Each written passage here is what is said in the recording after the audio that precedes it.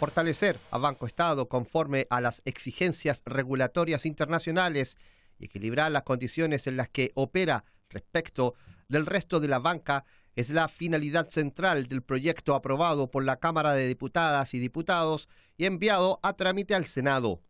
La propuesta del Ejecutivo autoriza para cumplir en forma gradual y sustentable con los límites normativos de capital adoptados por la Ley 21.130,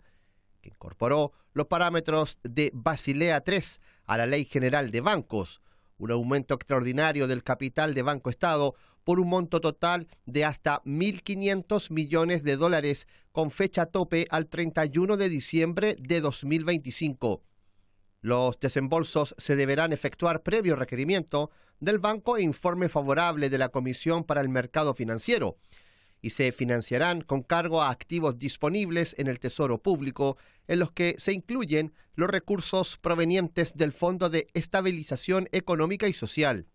Adicionalmente, la propuesta busca equilibrar la situación de Banco Estado con el resto de la banca nacional, al permitir transferencias de capital en razón de las deducciones por activos por impuestos diferidos y autorizar la emisión de bonos perpetuos, es decir, aquellos sin plazo fijo.